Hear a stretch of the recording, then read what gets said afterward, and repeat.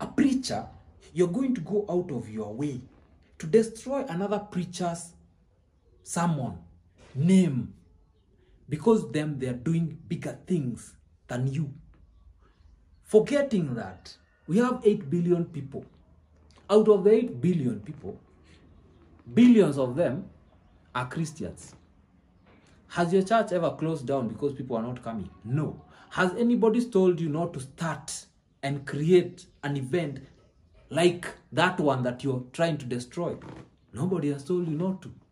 Has anybody come to your church and told you you need to stop this because you are elevating people? No. The reason why it's hurting you is one, you're thinking in a shallow minded way.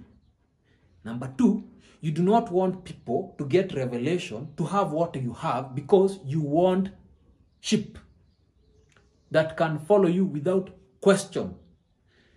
Once they continue following you, if they get revelation, they're going to leave you because they serve you, not God. And you wonder, you never change, you keep making some money, you keep going to around the same place.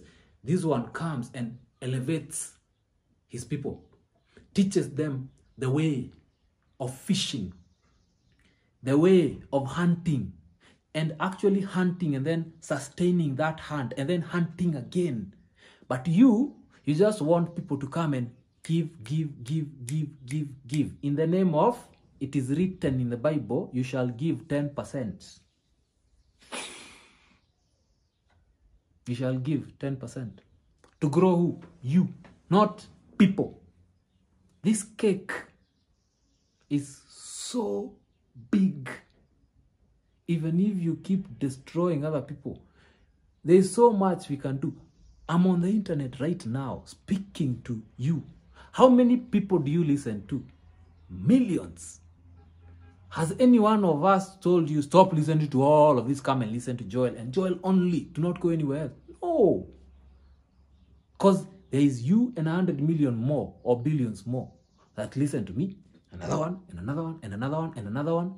If you stop being relevant, they go to that other person because they're now getting some insight from that one that is actually assisting them. Concentrate on growing and selling quality, giving value. Forget about loyalty and price and actually elevate those people by solving their problems and see whether you'll ever lack in that business. I am done talking, like my grandfather would say.